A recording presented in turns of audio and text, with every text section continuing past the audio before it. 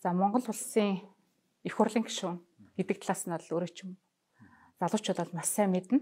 Одоо их хурл дотроо залуу гишүүдийн нэг. Тэгэхээр энэ амжилтаа яваа одоо зүйл амжилтын түүх. За юуны өмнө бас энэ подкастта урьж оролцуулж байгаа одоо төрөлх сургуулийнханд баяс их баярлалаа. Амжилттай яваа гэд яг хуу амжилтыг янз янзаар хэмжих бах. Аа мэдээж бас би одоо оюутан болоод нэгдүгээр курст орж ирж байхдаа л одоо дархнаас Улаанбаатарт орж ирж байсан. Тэгээ Улаанбаатарт орж ирээд боловсролын их сургууль төгсө. Тухайн үеийн багш их сургууль байсан. Би одоо багш их сургууль байхын хамгийн сүүлийн төгсөгч шүү дээ. Аа багшийн дээд сургуулийн анхны хэлсэгч. Багшийн их сургуулийн анхны төгсөгч юм байна. Тэг яг хичээл чармаалт мэдээж өөрөөс заавал гарах хэвээр. Аа тэгээ бас тусал дэмжсэн их олон хүн байна. Мэдээж туслан дэмжинэ гэдэг нь үндсэндээ юу гэдэг их үедээ бол мэдээж одоо сургалтын төлбөр, дотуур байр, боловсруулах гэл одоо бүх юмд оролцож байгаа тэр хүмүүс байж байгаа тийм. За дараа нь бол тэгээд одоо бизнесийгээд явж явах хамтарч исэн найз нөхөд сүрэнг оруулж исэн хүмүүс. Дараа нь гадагшаа дотгошоо явж боловсруулах эзэмшгэд тусалж исэн хүмүүс тийм зөвлөгөө өгч исэн хүмүүс гэдэг олон хүний л одоо хамтын ажиллагааны үр дүн болж хүн болгон л өөр өөрийнхөө амжилтанд хүрдэг. Тэгэхээр аль талаас нь харахаас л хамаарах баг. Тэгээ ер нь бол хамгийн гол одоо зүтгүүр нь өөрөө л байх хэрэгтэй шүү дээ. Одоо хүмүүсийн дэмжлэгийг авч чаддаг байх хэрэгтэй, хэлсэндээ өрдөг байх хэрэгтэй, хөдөлмөрч байх хэрэгтэй, зорилгоосоо хазаадгүй байх хэрэгтэй, тий. Тэгээ тэгжээж л одоо амжилтанд шүү дээ. Багш мэрэгчлээ цөөхөн гişүүдийн нэг За тэгээд тэр ч утгаараа бол яг хөр өөрөө бол бас ингээд нөгөө анхны мэрэгжил шүү дээ өөрөө чинь. Анхны мэрэгжил. Тэгэхээр анхны мэрэгжлээсээ олж авсан одоо тэр мэдлэг чадварууд ер нь цаашдаа одоо энэ өсөлт хөгжилтөнд ч юм уу улс төрийн карьерт ч юм уу ингээд бас тодорхой хэмжээгээр нөлөөсөн байх л та гэж харж байна. Тэглгүй яах вэ? Би ер нь системтэй боловсрлоор эзэмсэн хоёр мэрэгчлээ. Нэг нь бол одоо таны хэлж байгаа зөв би Монгол Улсын одоо багш их сургуульд аа нийгэм судлаач эрх зүйн шүдийн мэрэгчлэр багш шүдийн мэрэгчлэр төгссөн 2000-аас 2004 он суралцж төгссөн. Дараа нь магистр хамгаалсан. За дараа нь 2013-аас 20 он болтол 7 жил 8 жил гэсэн үг Канада улсын Бритиш Колумбia их сургуульд уул уурхаан одоо менежмент засаг судлалаар магистр доктор одоо суралцсан. Аа тэгээд энэ хоёр бол одоо миний мэддэг системтэй гэх мэддэг гэх наашаа илүү одоо системтэйгээр олсон боловсрол юм байна. За багшийн мэрэгжлийн тухайд бол зөвхөн улс төр гэлтгүү миний одоо явж исэн бүх одоо бизнесийн олон нийтийн байгууллагын одоо төрийн бүс байгууллагын за тэгээд төрийн албаны а тэгээ одоо ингээд улс төрийн албанд ингээд ажиллах багш мэрэгжлийн ийг эзэмшиж яхад болж авсан мэдлгүүд бол асар тус нэмэртэй бол байдаг. Ялангуяа хүнтэй харилцах, олон хүмүүс одоо өөр өөр байх, өөр өөр хүмүүс тохирсон хандлагаар харилцах тий тэр нэг сурган сэтгэл судлал гэж одоо манай одоо багш нар ордог чи ордог багш нар. Тий харилцааны чадварууд их ордог байсан. Тэр одоо хүнтэй ажиллах ерөөсөө яг үнэндээ хүнтэй ажиллах тэр чадварыг бол асар сайн суулгасан байдаг. Хамаагүй илүү дэмтэй одоо хэрэглээтэй байсан. Тэгээ би бол одоо амьдралдаа хамгийн их хэрэгэлсэн одоо хичээл гэвэл баг тэр хоёр байгаа. За тэгээ дараа нь бол сургууль одоо сэтгэл судлалын хичээлийн дараа бол юу гэдэг вэ гэхээр нөгөө шинжлэх ухааны суур хичээлүүдийг чинь аяг үздэг байлаа шүү дээ тий. Багш их сургуультай тэр хичээлүүд аяг тус болдог. Тэг маш их нөлөөтэй шүү. Багш мэрэгжлийн онцлог бол хүнтэй ажиллах. Хүн чинь заавал жоох хүүхдтэй багш гэдэг чинь заавал жоох хүүхдтэй ажиллах хэрэгтэй юм биш шүү дээ. Тэгээ одооны одоо сүүлийн үеийн одоо онол номлолуудаар харж байхад бол жоох хүүхдүүд ч гэсэн өөрсдөө яг бие хүн одоо тусдаа тийм байр суурьтай, өөрийгөө илэрхийлэх чадвартай, нийгэмд оролцох чадвартай, өөрийгөө одоо яах гэж байгаа илэрхийлэх чадвартай байр суурьтай тийм болцсон байна гэдээ үзээд байгаа. За арай бие хүн бол биш. Монгол Улсын боловсролын сургуулийн оюутны холбооны ерөнхийлөгч ажлыг хийж байсан. Тэгээ дарга тий оюутны холбооны тий тэргүүн гэж нэрлэдэг байсан. Мобильсийн бүх оюутнуудын дарга. Тий дарга байсан тий. За тэгээд энэ талаараа тий Тий одоо та бол тэр үед дөнгөж одоо сургуулиуд өгсөд багш болоод орж ирсэн л залуу багш байсан баасан. Тэгээ түүхэн техникийн багш байсан. Тэгээ би тухайн үед одоо нэгдүгээр курс оюутан болоод нэг жил өнччихэд орсон шүү дээ би 10 дор ингээд өгсөд. Тий ингээ хөдөө мал маллж байгаад тэгээд ирж орж ирсэн. Тий тэгээд одоо угаасаа л ер нь жоохон нийгэмд оролцоотой бай гэж боддог. Тэгээ ямарваа нэг юм таалагдахгүй бол эсвэл одоо буруу гэж үзэж байгаа бол эсвэл өөрчлөх ёстой гэж үзэж байгаа бол өөрөө оролцож өөрчилж ээж аа дуурах ёстой гэж боддог энэ зарчимтай. Тэгээ би ер нь их тийм хөндлөнгийн байр сууриас аливаа зүйлийг шүүмжилж хандах дурггүй. Хэрвээ ямар нэг юм болохгүй бол өөрөө тэрийн заавал оролцох ёстой гэж боддог. Тийм ч учраас улс төрд орсон. За тийм ч учраас энэ бас оюутан байхдаа одоо оюутны зөвлөл одоо тухайн үед түүх нийгмийн ухааны сургууль гэж нэмэлдэг байсан. Тэгээ түүх нийгмийн ухааны сургуулийн одоо оюутны зөвлөлийн дарга байж байгаа. Данаа нь боловсрол багшиг сургуулийн оюутны холбооны юм одоо анх дугаар юм чуулган болоод бүх одоо тэр чинь нэг 200 гаруй ангийн дарга нар одоо бүх курсын бүх төгсөлтийн бүх ангийн бүх курсын нэгээс дөрөв дэх курсын бүх ангийнхан дарга нар. Йоо амар юм болсон тийм амар юм болсон тийм тэгэл сонгогдож исэн. Аа тэгээ сонгогдоод ажилласан тэгээд миний бас оюутан байх үедээ одоо ингэ бодоход би оюутан цаг үеэ тийм их үр бүтээлтэй өөртөө ч өрөөлтч хүртээлтэйгээр өнгөрөх гэж хичээсэндээ сэтгэл дүүрэн байдаг. Мэдээж одоо жоох хүүхд учраас одоо алтан оноо зөндөө гаргана А гэхдээ л нөгөө хүмүүсийн хүсэл зоригийг илэрхийлж ажиллана гэдэг чинь айгүй гоё. Тэр залуу наснда одоо 18-с 20-той хүүхдтэй. Аа тэрийг одоо туршлага тэр үедээ аавна гэдэг бол амар том давуу тал болж байгаа шүү дээ. Ясрах том давуу тал болж байгаа. Тэгээ тэр утгаараа л одоо ажиллаж исэн да. Дараа дараагийн оюутнууд маань бас ингэ ярьдаг байхгүй. Дамжны ерөнхийлөгчийн үед бид бол одоо одоо оюутны холбоо маш өндөр хөгжсөн юм А дараа дараагийн хүмүүс нь бас яг энэ чинээнд авч явхад одоо бид яаж ажиллах вэ гэдэг ч юм уу тиймэрхүү хилцүүлгүүд бас ингээл өрнөөл ингээл явж ирсэн. Одоо 2000 он болтол чи үндсэндээ нөгөө оюутны байгууллага чинь 1900 оюутны байгууллага чи өөр их төвхтэй байхгүй юу? Тэгээ 1990 оны одоо арчилсан хувьсгалыг авчирсан дөрвөн үндсэн байгууллагын нэг нь Монголын оюутны холбоо гэж. Энэ Монголын оюутны холбоо гэж энэ одоо оюутны энэ байгууллагууд нь салбар сургууль сургууль болгонд өөр өөр ингэсэн төлөөллийн бүрэлдэхүүнтэй. Тэгээ энэ 90 оны нэг том давлгаанд одоо арчилсан холбоотой энэ тэнцүү оролцоотой байсан одоо дөрвөн байгууллагын Монголын залуучуудын холбоо, Монголын оюутны холбоо гэж энэ байгууллагууд. Ер нь бол голлох одоо энэ Сүхбаатарын талбайдар болж байсан чагсаа цуглаануудын хүн нөөцийг бол цуглуулж авчирдаг юм. Гол хүн нөөц нь тийм байсан байгууллага. Аа тэгээ энэ байгууллагын үндэсний одоо анхны лидерүүд нь юу бол одоо энэ мөгшлөөний зоригт гэж одоо зам тээврийн сайд улсын хурлын гишүүн байсан хүн дараа нь одоо Лувсан онгийн Волд Болд гэж одоо энэ Бэлэг дэлчин сайд дээр сууж байгаа улсын хурлд баг 5 сонгогдсон билүү. Улаан улгийн сайд, гадаад иргэн сайд энэ байсан хүн. За одоо энэ голомт банкны төлөөлөгдөх зүйлийн дараа баясгалан гэж. Эднэр бол одоо манай тэр 90-ад оны үеийн эхлэл нь.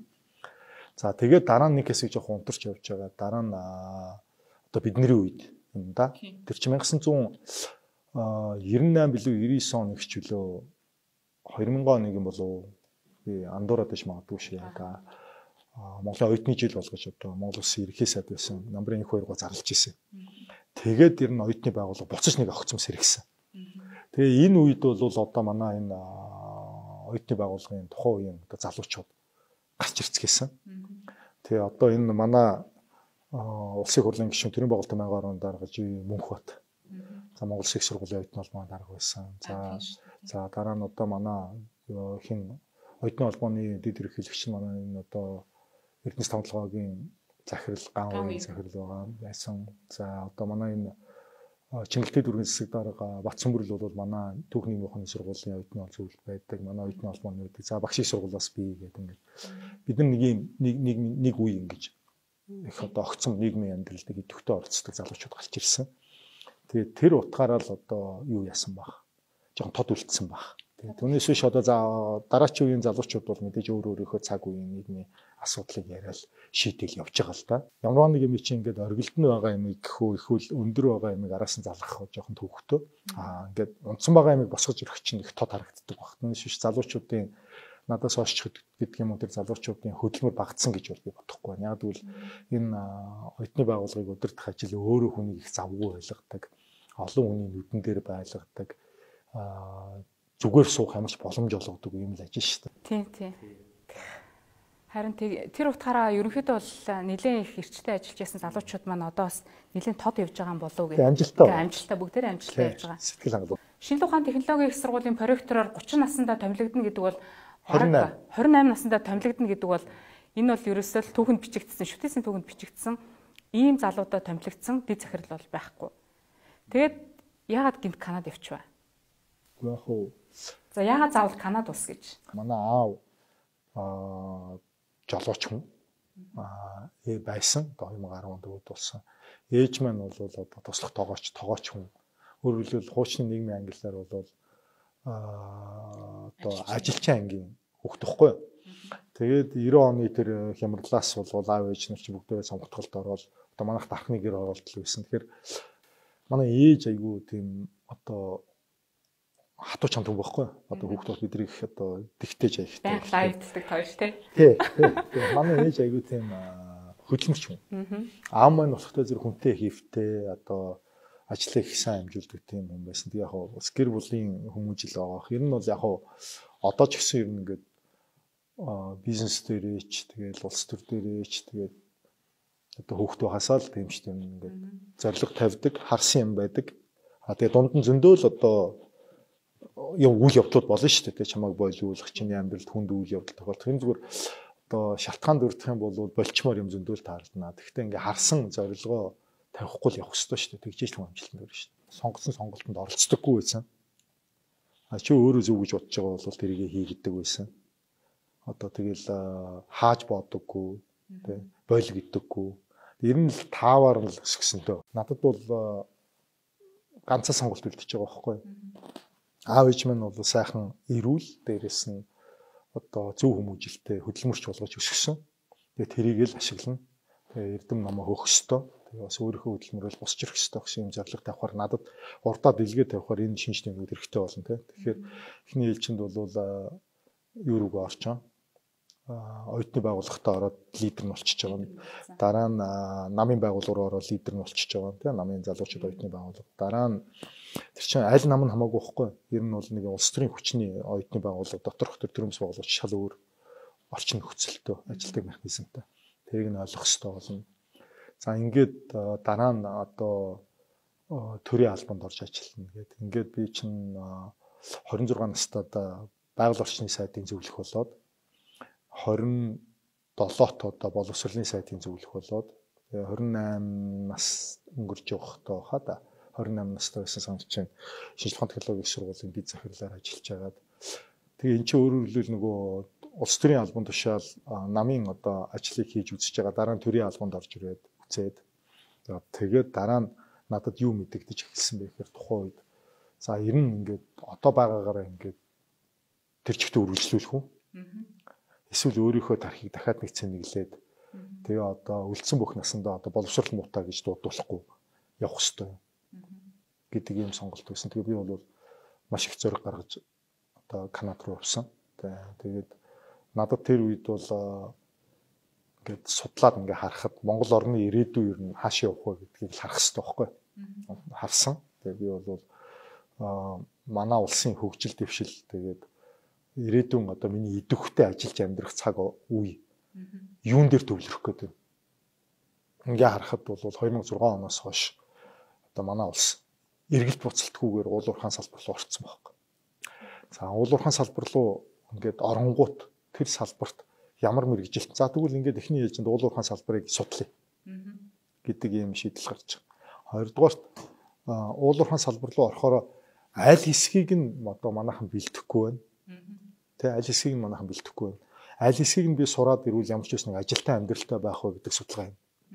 Ингүүт энэ уулуурхаан одоо техникийн мэрэгжлийн чиглэлээр хүмүүсийг бэлдээд байгаа мөртлөөс энэ менежмент бодлого судлалын чиглэлээр нь дээрэс нь миний нөгөө зорилго байгаа шүү дээ улс төрч болох. Тэгээ нөгөө бодлого хийх энэ чиглэлээр бэлтгэхгүй байсан учраас за энэ чиглэлээр сурыг. За 3 дугаарт нь энэ чиглэлээр хамгийн сайн бэлтэж байгаа, хамгийн амжилттай байгаа орон хаана вэ?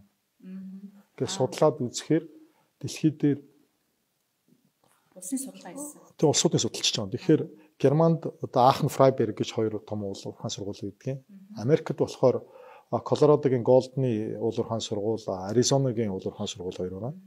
За тэгээ Австральд болох зэрэг юу байгаа? Квинсленд их сургууль тэгээ Брисбен тий. За дараа нь Канадад болохтой зэрэг Брitish Columbia их сургууль гэсэн. Тэгээ би чинь бүх дэнгээр нөрөө одоо судалгаа хийгээд үзээд тэгээд Канадыг бол одоо манайхт их ойрхон юм байна. Өгөгдөл нь. Тэгээ манай улстай ер нь харин ижилхэн юм. Аль нь ижилхэн юм? Аль нь ижилхэн юм? Юу нь ижилхэн юм? гэдэг судалгаа хийж байгаа. Тэр хүн чинь сурах гэж явахдаа зүгээр нэг асар хөрөнгө оруулалт, асар их цаг, асар хөдөлмөр өгөхгүй. Тэгэхээр тэр чинь дэмий өрөхгүй бол судалж явах хэрэгтэй шүү дээ. Яг хэрэгтэй юмдаа л явах хэрэгтэй байхгүй. Тэнгүүд одоо Канада улс, Австрали улс хоёр үлдчихэж байгаа. Яг одоо гэвэл уул уурхаа дээр суурилсан, айгүй богино хугацаанд хөгжил хийж чадсан ийм хоёр улс. А тэнгүүтээ тэнд нөгөө өөр мэрэгжилтэй хүнийг одоо би ч багш мэрэгжилтэй хүн шүү дээ, тэ. Хүнийг аваад уул уурхаа мэрэгжил сургадаг хөтөлбөртөө хоёр нь энэ хоёр үлдчихэж байгаа. А тэнгүүтээ Австрали болохтой зэрэг биднээс арай юу юм бэ лээ? Өөр юм байна лээ. Яг гэвэл Канад эндээс шууд тодроод ирж байгаа. Яг тэгэхээр дөрөөлөлтэй. Тийм. Дөрөөлөлтэй. Багал цаг үрний 47 дугаар 46 47 дугаар давхарцсан бид нар. За тэнгүүтээ бүх эдийн айхтар том одоо дэлхийн номер 1 эдийн засагт хэлэлж байна. Бид нар дэлхийн номер 2 эдийн засагт хэлэлж байна. Тийм ээ? Ажил адилхан хөгжил. Тэгээ дийлэнх юма тийшээгээ зарж амьдэрч байна тэр хүмүүс. Айгу ухаалаг. Аа тэгээ дэлхийн хамгийн өндөр хөгжилтэй ус болсон байна. Дээрээс нь би ч бас ихнэр хөгттэй гэр бүлтэй хүн чинь хүүхдүүдээ хаана өсөхөө тэр намайг сурж явах үед хаана боловсрол шиг гэр бүл байрлал нь одоо тухтай байна тий. Тэгээ Монгол хүний биеийн онцлог амар халуунд байх уу эсвэл нэг дөрвөн үлэлтэй газар байх уу гэж харж байгаа. Маш нарийн судалгаа. Оо судалсан судалсан. Тэгэхгүй яг биш ч одоо бас өрх толгоолоод явж гин өөр өрхийн өрхийн тэргүүн байна. За тэгээд одоо бас тодорхой хэмжээний өөрийн зорилго тавьсан байна. Ирээдүйд би өөрийгөө хаана авч зарах уу? Тэ? Ирээдүйд би аль салбарт ажиллах уу гэдгээ бодож байгаа юм чинь маш нарийн судалж ижил хөдлөн шүү дээ. Аав нь болохоор бас бүх хүн байсан. Бүх хүн байсан. Тийм бүх хүн байсан. Начин аймгийн зан золтой. Манай одоо өвөө бүх аймгийн зан золтой хүн байсан. Манай аав аймгийн зан золтой хүн байсан. Манай төрсөн аймгийн арсан золтой. Манай одоо үеэл дүүчин улсын авраг байдгийг мөнх бат тэгээд тэгээ би хүүхэд байхдаа барилдах гэж үзээд тэгээд нэг зүйл бас энэ залуучуудад илчмэр санагдчихээн зүгээр өөрийнхөө хийж чаддаг юм чаддгүй юм эртхэн мэдээд юм байна. Аха, яг үнэ. Тийм. Тэгээ би бол барилдаж үзсэн. Тэгээд нэг удаа маш чанга унссан. Тэгээд тэр тоосонтоо твтчих байхдаа бол за энэ бол миний ажил биш үү нэг асарсан ойлгож авсан. Тэгээд дахиж нөх тэр чиглэл рүү яваагүй. Тийм.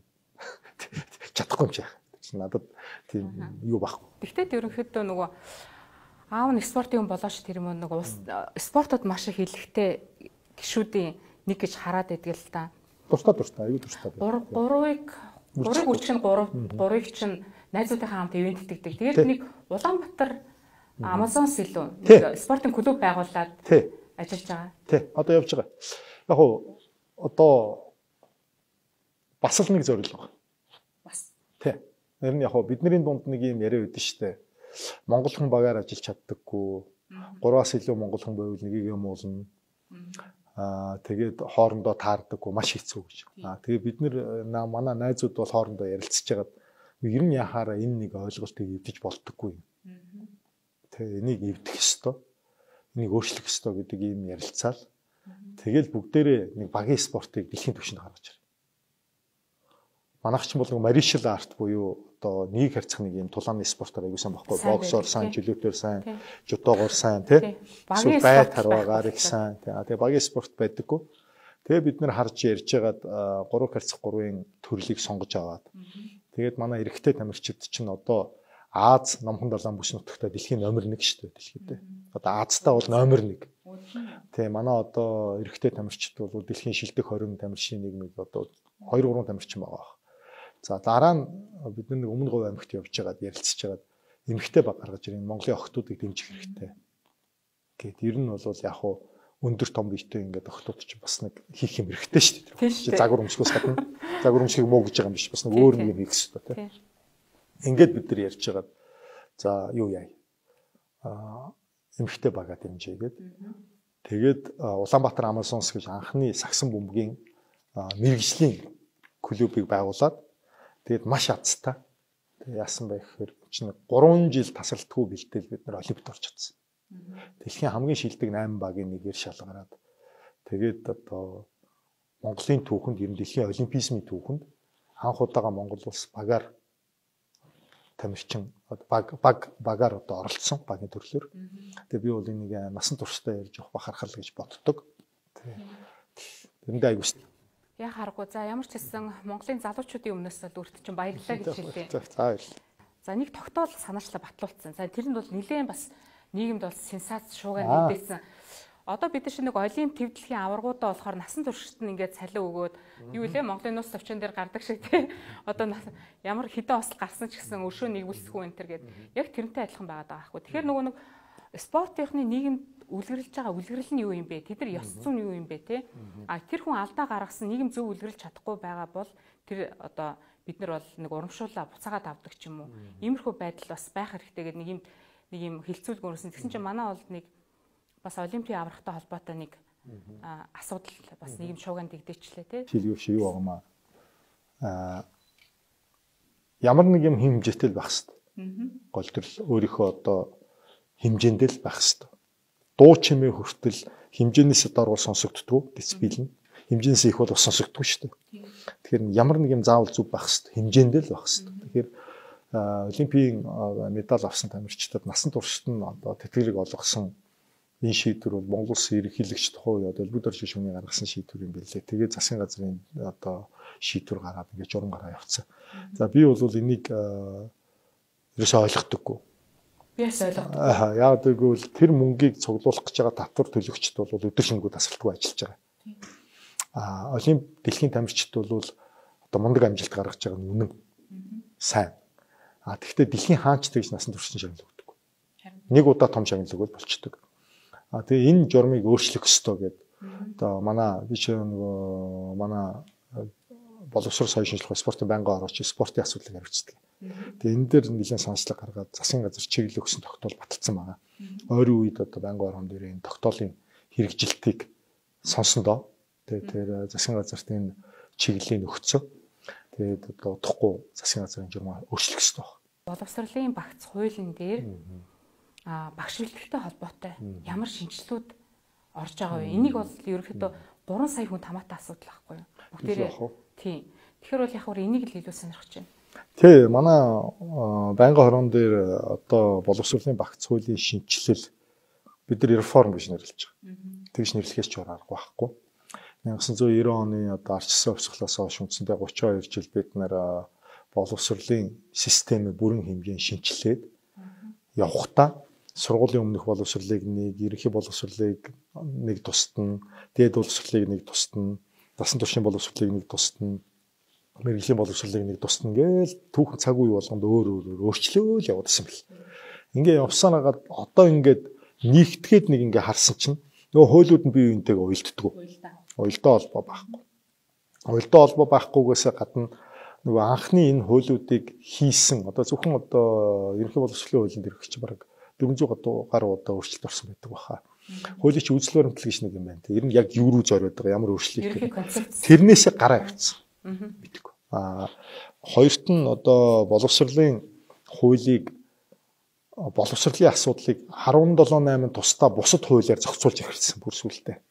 Одоо батлан хамгааллын хууль, онц байдлын тухай хууль, янз янзын хуулиуд ингээ ороод ирсэн.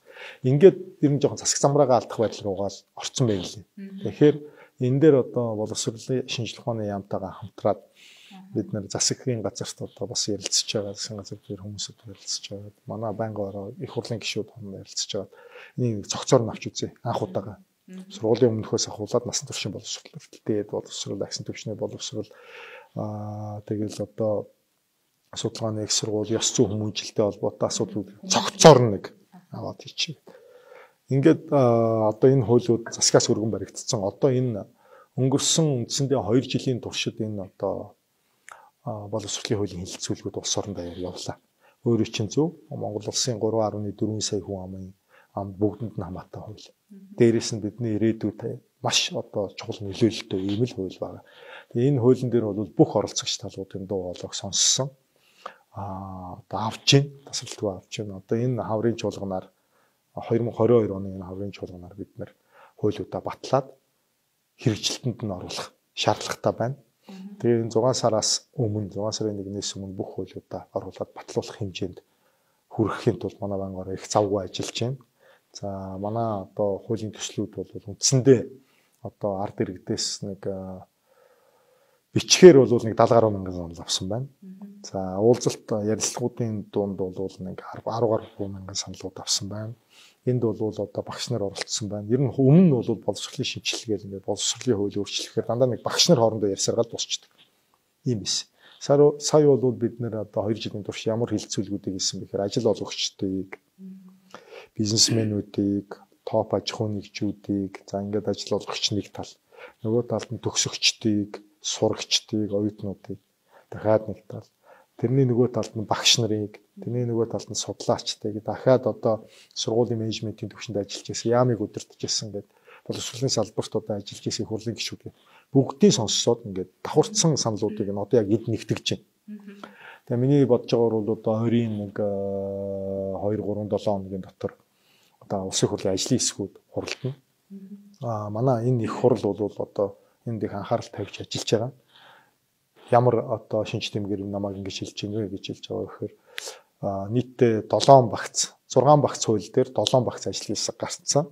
Улсын хурлын шүмэг хөргөл ахлаад одоо миний бие бас ахалцаад за ингээд ажиллаж байна. За энэ дээр одоо нийтдээ энэ ардчлалын 32 жилийн түүхэнд улсын хурлаас байгуулагдж байгаагүй олон тооны гишүүдтэй ийм ажлаас гарсан 23 ажлын улсын хурлын гишүүд орцсон байна.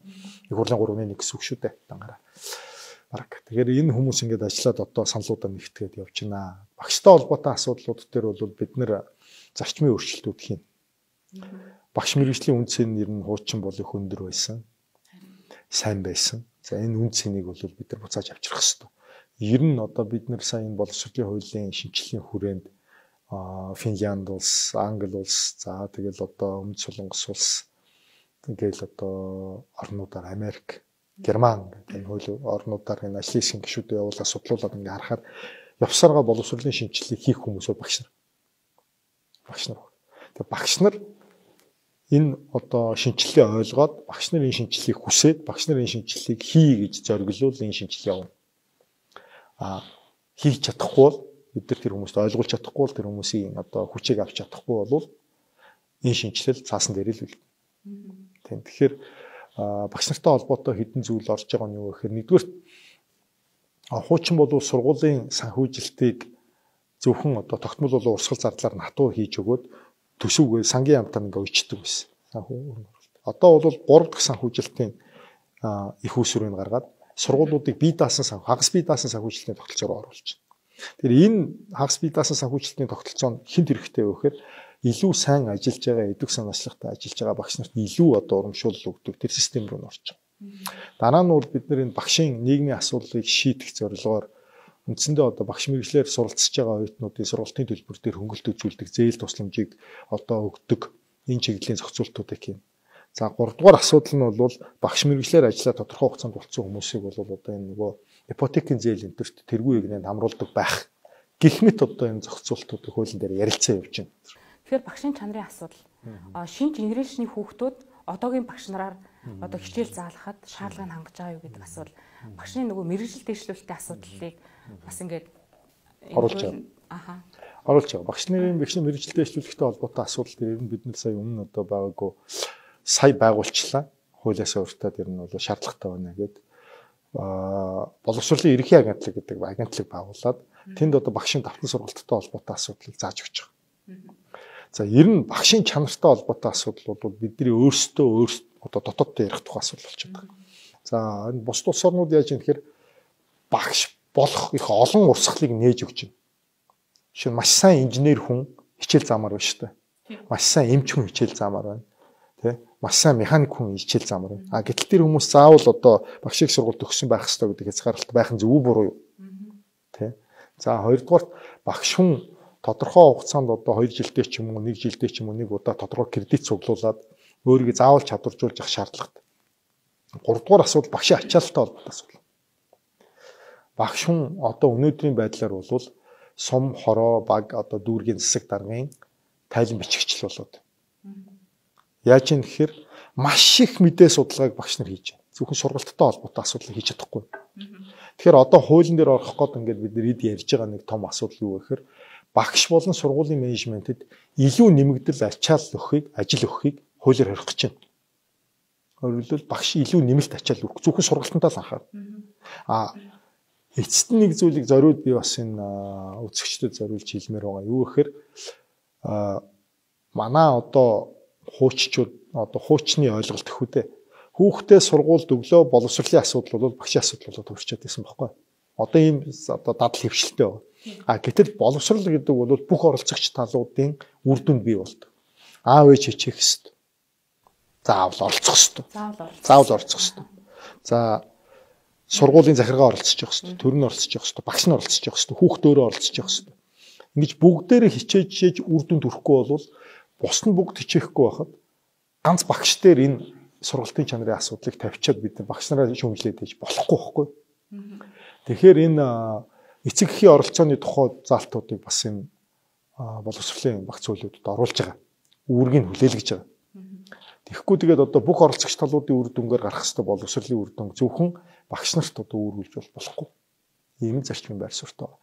Тэгээд одоо сургахаас өөрөлдөл хуучин болвол энэ бол зөв чи энийг заавал сур гэдэг багш байсан бол одоо сургах уу сурах уу өөрөлдөл чи энийг зөв гэж үзэж гин үү буруу гэж үзэж гин үү? Өөрөө судлаад дүнэлтээ гаргах сурах сурч мэдсэн хүн чи өөрөө дүнэлтээ гаргана шүү дээ энэ чадвар руу одоо илүү чиглүүлсэн хөтөлбөрийн заах арга зүйн ном сурах хүчгийн менежментийн тэрийг хяналтын тогтолцооны мөн тэрийг үнэлгээний тогтолцооны гэсэн таван чиглэлийн шинжилгээг бид нар ярьж байна. Угаасаа сая цар тахлын таван цар тахлын 2 жилийн хугацаанд дэлхийн бүх улс орнууд энэ боловсролын шинжилгээ ярьж эхэлсэн байна. Дэлхийн бүх улс орнууд бидний одоо судалгаа тооцоогоор харахад тэгээ бид нар энэ одоо цаг үеэс нэг хоцроод байгаа юм бол алга. Тэгэхээр энэ саяын таван чиглэлээр бид нар шинжилгээг харж байгаа. Тэгээд одоо эцэг эхчүүд одоо аж ахуйн нэгжүүд за бас сурагчид оюутнуудаас бас төрлийн зүгээс хэлэхэд бүгдээрээ оролцож иж боловсролын шинжилгээ амжилттай болно шүү. Тэгээ эн чинь өөрөө эргээд нөгөө мундаг их орончч гэдэг юм уу мундаг одоо боловсон хүчин бэлдэх ёстой ч гэдэг юм уу хоосон уриал оцонгоос бодит үйлч энд л явагдах ёстой шүү. Тэгэхээр хичээгээрэй л гэж. Нөгөө боловсролын хуулиа ингээ багцаар нь авч яваад байгаад маш их талархалтай хандаад байгаа. Хамгийн гол нь өмнө нь болохоор ингээд нөгөө за сөөбийн хууль баг дундын хууль ингээд бүгдээрээ тустай.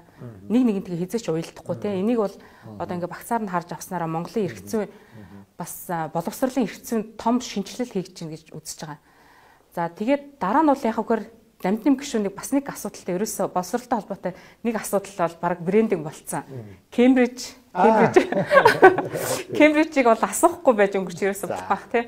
Ерөнхий боловсролын тогтолцоо нь амжилттай явж байгаа энэ улс орнуудын нэг том жишээ одоо аргачлал нь юу байгаа юм тэгэхээр ийм л аргачлал одоо үндэсний боловсролын тогтолцооныхоо стандартыг тавьчихж байна. Одоо бенчмарк уу хим хэмжээгээр тавьчихж байна. Стүүрээр төгсөж байгаа хүүхд ийм ийм ийм мэдлэг чадвартай байх ёстой. Тэр мэдлэг чадварыг ямар хөтөлбөрөөр одоо эзэмшүүлэх нь тухайн сургуулийн сонголт байгаа даа байхгүй. Тэгэхээр Кембрижийн хөтөлбөртэй холбоотой асуудлыг би юу гэж гаргаж ир тавиад байгаа вэ гэхээр хуучин бол бид нар одоо сэтгэлгээ бол ямар байсан бэ гэхээр зөвхөн нэг загварын одоо зарим хүмүүсийн шүмжилж байгаа хэлж байгаагаар үйлдвэрийн ажилчид бэлтгэх хөтөлбөрөөр гэж ярьдгийг. Тэр нь чараа хитэд дийлсэн шүмжил баг. Гэхдээ бас үнний ор бий. Зөвхөн нэг юм хэвээр бүх хүүхдийг оруулаад яг ижилхэн хэвээр гаргах гэж үздэг байсан. А гэтэл урлагт авьяастай хүүхд байна, биеийн тамирт авьяастай хүүхд байна, шинж ухаанд авьяастай хүүхд байна мөн үү те. А ийм одоо хүүхдүүдийн боломж нөхцөлийг харгалзаж үзэхгүй байгаа байхгүй. Тэгээд гараад ирэхээр хүүхдүүд 10 төрлийн хичээлээр онц сурсан байх шаардлага тавиад хэрэгжилж чаддаг. Мэдсэн мэдлэгээ хэрэгжилж чаддаг. Эцэст нь яг боловсролын зорилго юу юм? Би Английн боловсролын тогтолцооны зорилгыг танд хэлж өгье. Английн боловсролын ерөнхий боловсролын тогтолцооны зорилго нь юу гэж? To prepare adulthood lifehood гэж. Тэгэл болоо ерөөс. Өөрөөр хэлбэл том болоод амьдралд оролцоход нь бэлэн болгох л зорилго тавьсан байна. Өөр юм байхгүй байхгүй. Түүнээс одоо манайх шиг их оронч үндэсний үзэлтэй инновацлог, технологилог одоо мэдхгүй дэлхийн иргэн мэрэгэн тийм байхгүй шүү дээ. Байхгүй. Тэгэхээр зүгээр л маш урт гэхээсээ илүүтэй их тийм тунхагийн шинжтэй байхгүй. Аа бидний боловсролын зорилго бидний одоо хийх гээд байгаа шинжилгээний гол зорилго бол эрх зүйн орчинд нь ерөөсөө л энэ 10 жилд олж авсан одоо боловсрлоо амьдралдаа хэрэглээл хоолоо олж иддэг байхад болоо. Одоо өөр хүсэх юм болох тий. Тэгээд боловсрал олж байгаа юм чи тийм юм авах хэрэгтэй шүү дээ. Өөр юу хүсэж байгаа юм тийм биз дээ. А өөрийнхөө амьдралыг өрөөлийн амьдралд гай болохгүйгээр аваад явж байгаа энэ үйлдэл бол өөрөө энэ арчилсан улс оронд их оронч үйл явдал мөн мөн л баггүй тий. Татвараа төлж чинь, ажлын байр бий болгож чинь, эсвэл ажлын өгсөн байгаа ажлаа нэр төртөө биелүүл явж байгаа болоо өөр юу хүсэж байгаа. Тэгэхээр энэ чиглэл рүү бид нар боловсролын шинжилгээг харж байгаа. Тийм учраас энэ сургахаас сурах руу гэдэг нь тэр одоо томьёолсон тэр өөрөө явж байгаа. Тэгээд амьдралдаа хэрэгжилж болдог энэ боловсролтой. Тэгээ хөтөлбөрүүд нь юм сонголттой байх хэрэгтэй тухайл асуудлыг яриад байгаа. Сонголттой. Тэгэхгүй яг нэг юм хэв загвараар бүгдийг заавал онд сур гэж шахвал бид нэр асар том алдаа хий. Кембрижийн хөтөлбөрийг одоо нэг шалгуур үзүүлэлт болгоод одоо энэ ч манай үндэсний боловсролын тогтолцооны хөтөлбөрөөс илүү өндөр түвшний хөтөлбөр байгаа. Тэгэхээр тэрийг давж ивэл болж байгаа байхгүй. Тийм шалгуур тавина. Тийм шалгуур тавиал явчвал болно л гэж үзэж байгаа. Тэ. А Кембрижийн тусгай одоо хос хэлний хөтөлбөртэй сургуулиуд бол ганц нэгээр нэмэгдэж байгуулагдах л баг. А тэр хөтөлбөртэй сургуулиуд нь эргэн тойрныхоо уг нь бол одоо 2008 онд анх энэ санаа гараад 10 он засгийн газрын тогтоол гараад хэрэгжижсэн төлөвлөгөө нь одоо өөрөө юу байсан бэ гэхээр Кембрижийн хөтөлбөртэй сургуулиудыг дүүрэг болгонд нэг аймаг болгонд нэгийг байгуулад тэр сургуулиуд нь өөрсдөө лаборатори сургууль болоод эргэн тойрныхоо тухайн дүүргийнхээ аймгийнхаа бусад сургуульд тэр хөтөлбөрийн давуу тэр талуудыг нь нэвтрүүлэх. Ингээд бүгдээрээ урагшлах ийм л одоо аргачлалыг сонгосон юм бил. Энэ угаасаа л явдаг аргачлал. Хэрвээ бид нэр санаж байгаа бол гадаад дэлхний 23 3 математикийн гүн зөрүүлсэн сургуультаа 1 11 дугаар сургууль байж л байсан тогтолцоо байхгүй. Тусгай хөтөлбөртэй сургууль байж л байдаг шүү дээ. Туршилтын сургуулиуд байж л байдаг шүү дээ. Тэр сургуулиудын нэг. Тэгээд тэр одоо ажлыг нь бол харамсалтай нь одоо 16 оноос жоохон гажуудуулсан юм байлээ. Тэгээд тэр гажуудлыг нь одоо засаад өгсөн одоо бид нар чинь нөгөө тэгш хүртээмжтэй боловсролын асуудал яриад байгаа шүү дээ тий. Тэгэхээр одоо бол э, жоохон аав ээж нь эдийн засгийн чадамжтай айлын хүүхдүүд боломжийн боловсрол олж аваад би Кембрижийг бас тэгж хардаг байхгүй юу. За гэр хороололд орон нутагт ингээ байгуулна гингүүд нь а энэ маш зөв шүү гэд. А тэрнээс бол яг үхээр за гэр хороолт сурдаг. Төрийн өмчийн одоо гурван сургууль байна. Одоо шинэ нэрэн Монгол тэмүүлэл э, юу лээ нөгөө тэр гурван сургууль байгаа.